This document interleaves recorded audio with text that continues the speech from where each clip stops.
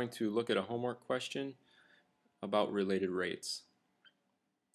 In this question, we're looking at the rate of change of the height of coffee in a container and how that's related to the rate of change of the volume of the coffee in that container. So the question says coffee is draining from a conical filter into a cylindrical coffee pot at the rate of 10 cubic inches per minute. The conical filter is 6 inches tall with a 6 inch diameter, while the cylindrical pot has a 6 inch diameter. How fast is the level in the pot rising when the coffee in the cone is 5 inches deep? Part B says, how fast is the level in the cone falling at that moment? So we need to find a relationship between the rate of change of volume, which we are given, and the rate of change of height, which we are asked for. If volume and height are related, then their rates of change are related. And that's sort of the essence of these related rates problems is we start by modeling the relationship. We, we, we come up with an equation that shows the relationship between two quantities and then we differentiate that equation to get another equation that relates the rates of change of those quantities. So for this one, for part A, we're focusing on the relationship between the volume of coffee in the cylinder, that's this coffee in the cylinder, and the height of the coffee in the cylinder. So we're going to call the height h. That's the depth of coffee that we have uh, in this. The radius of the cylinder is known. Since the diameter is 6, the radius is 3. And then that should suggest a relationship between the volume and the height. We know the volume of a cylinder, and that's what this coffee is. This coffee is a cylinder. So the volume is pi r squared h. And r is 3 inches. So volume is pi times 3 inches squared times h. This is a relationship between V volume and H height. So what this represents, this is an equation relating V and H. Our next step is going to be to differentiate that equation and when we do we're going to get another equation relating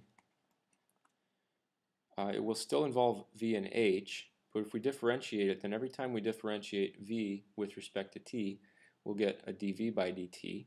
So it'll relate v and the derivative of v and h and the derivative of h with respect to t.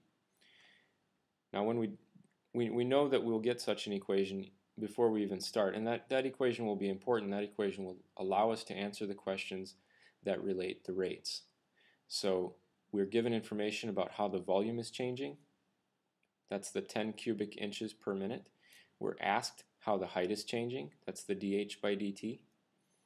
So we should get an equation that relates those quantities to each other and we should use we will then be able to use information about one quantity or one or more of those quantities to answer a question about an unknown. So the equation we get is dV by dt equals, now when we differentiate this, all of this is a constant, so it just sits there, pi times 9 inches squared times dH by dt. And this is our second equation. It relates v prime, the derivative of v, the derivative of h, and they have this relationship.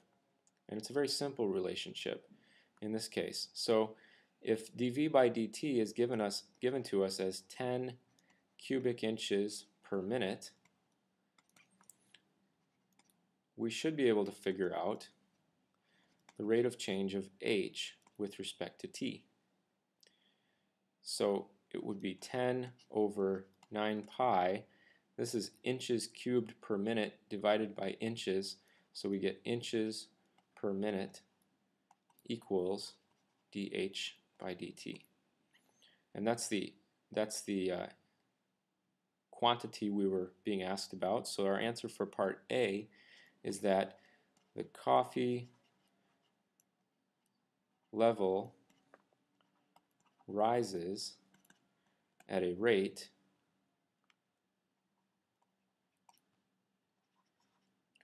of 10 over 9 pi inches per minute, um, which is a constant, constantly.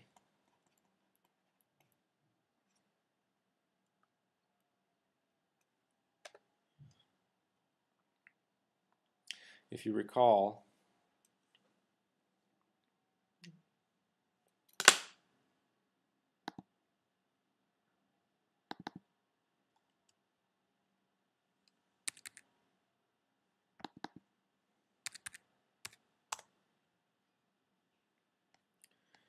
If you recall, the first question asked, how fast is the level in the pot rising when the coffee in the cone is 5 inches deep?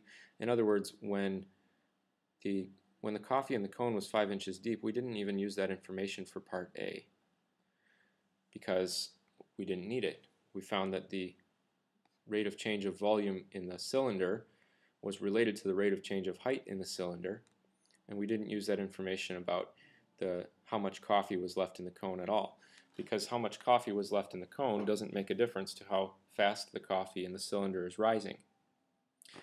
Okay, so moving on to part B, we find that actually the part B, fast is the level in the cone falling at that moment, so when, when the coffee in the cone is 5 inches deep. And here I'll just point out that if the coffee in the cone was 5 inches deep, it would be falling at a different rate, the, the height would be changing at a different rate than if the coffee was only one inch deep.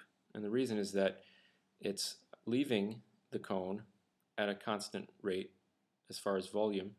So the top the top inch of that cone contains more coffee than the bottom inch. So if it was completely full, then to decrease the height by one inch, you're getting rid of a lot of coffee um, so that it'll take more time than if you were only getting rid of the bottom one inch of height you would not be getting rid of as much coffee. It wouldn't take as long. Since, since our flow rate is constant by volume, then we would expect the rate of change of height to not be constant since we're in a cone.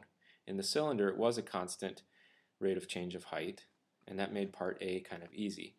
For part B, we have to acknowledge that the level in the cone is falling at a variable rate, but we still need to start by relating the volume to the height because we know how the volume is changing and we can find how the volume relates to the height and proceed that way. So how is the, I'll start by saying the volume is changing dV by dt. In here we're talking about the cone now.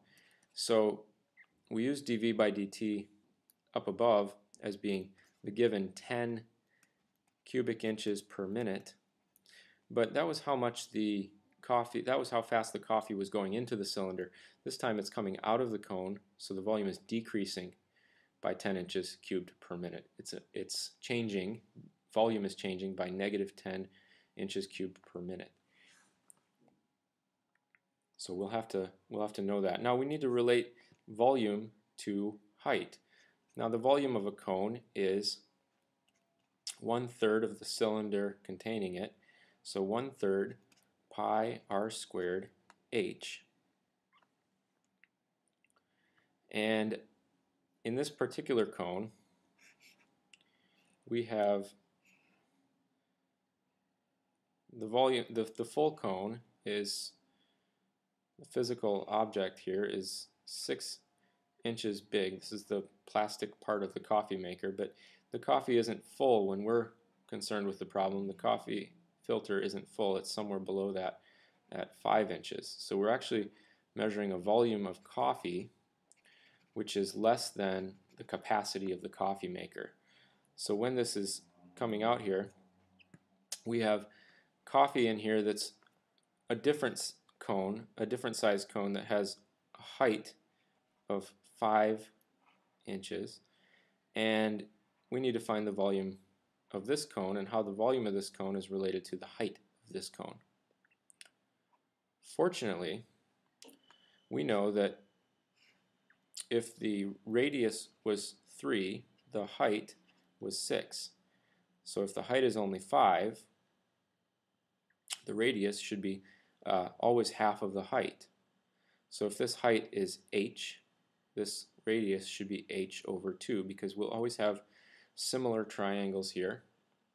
Or uh, another way to look at it is this cone will always be similar to the larger cone uh, containing it whose dimensions are a height of 6 and a diameter of 6. So the height and diameter are always equal for the cone of coffee. And as the coffee flows out, its, its volume is held in a smaller and smaller cone. In, in our case, we, we have an equation that relates V to R and H, but since R and H do not vary independently, we want to go ahead and note that this radius equals the height over 2. So we're going to rewrite this equation as V equals 1 third pi times h over 2 squared times h. And I'll change one thing about that. I'll say that v equals, this is h squared, and there's another h, so we're going to have pi over 12 times h cubed. Now, this is our equation relating v and h. We're going to take that equation and differentiate it and give ourselves an equation relating v and h and h prime and v prime. When we differentiate this with respect to t, we'll get dv by dt equals um, pi, the, the 3 multiplies here, so we have pi over 4 h squared dh by dt. And this is our equation that relates v and h and their derivatives. Now, we can use this equation to answer the question. The question was, at the moment, this is the moment defined by h equals 5. What is dH by dt? Or it asked how fast was the height of coffee falling? What is dH by dt? Now we know we have an equation with three variables and we know two of them and we're wanting to know the other one. h is 5, dv by dt was given to us as negative 10 inches cubed per minute. And then we can fill this out. Negative 10 inches cubed per minute equals pi over 4 times uh, h. h would be 5 inches.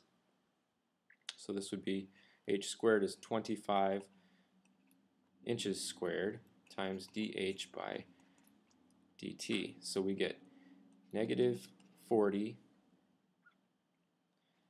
inches, uh, ne it's negative 40 over 25 pi inches um, per minute is dH by dt. That's how fast the height of the coffee and the cone is falling when h is 5.